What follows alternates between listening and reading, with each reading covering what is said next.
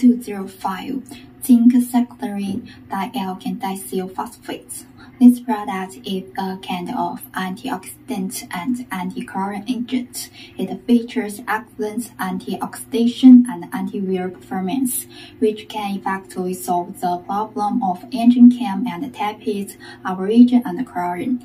It can be widely applied to various oils, especially for high-grade gasoline engine oils.